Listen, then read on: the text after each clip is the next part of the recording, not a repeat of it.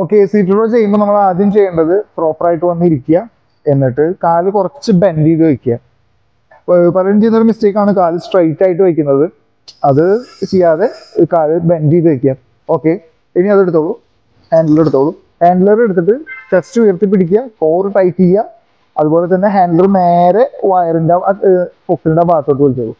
Yes elbow എപ്പോഴും close ആയിട്ട് വെക്കുക. ഒരിക്കലും വൈഡ് ചെയ്ത് വെക്കരുത്. എപ്പോഴും ക്ലോസ് ആയിട്ട് തന്നെ വെക്കുക. ഓക്കെ ചെയ്തോളൂ. യെസ് വെരി യെസ് ഇതാണ് ഇതിന്റെ പ്രോപ്പർ പൊസിഷൻ എന്ന് പറയുന്നത്.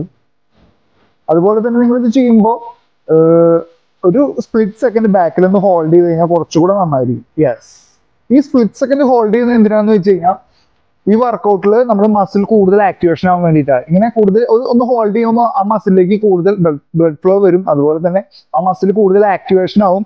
അതിന്റെ ഭാഗമായിട്ട് നല്ലൊരു മൈൻഡ് മസിൽ കണക്ഷൻ നമുക്ക് ഇതിനകത്ത് ബിൽഡ് ചെയ്യാൻ പറ്റും.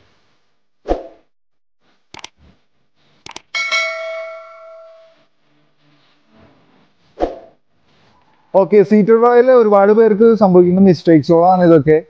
സോ ഇത് ചെയ്ത് കഴിഞ്ഞാൽ ഉണ്ടാവുന്നത് നമ്മുടെ ബാക്ക് ടൈറ്റ് ആവും. ബാക്ക് ടൈറ്റ് ആയി കഴിഞ്ഞ് കഴിഞ്ഞാൽ പിന്നെ നമുക്ക് വർക്കൗട്ടിനെ നിർത്തേണ്ടി വരും.